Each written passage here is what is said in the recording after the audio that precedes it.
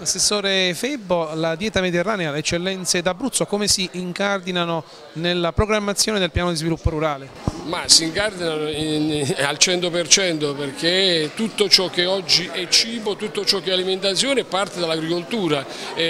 fare un'agricoltura di qualità ma soprattutto credo eh, cominciare a parlare alle nuove generazioni dei problemi che ci sono rispetto al cibo, io non parlerei solo di, di dieta mediterranea o meglio parlerei anche di dieta mediterranea ma soprattutto di consumo del cibo, credo che sia un argomento importantissimo, un argomento che tra l'altro in questo momento su cui la comunità europea è particolarmente attenzionata, tra l'altro si sta scrivendo la nuova PAC e su questo argomento ci sono diciamo, interi capitoli che si potrebbero leggere.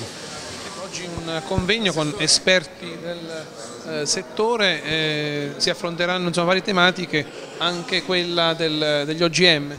Assolutamente sì, c'è questa posizione che noi manteniamo ferma di contrarietà agli OGM, non per un fatto eh,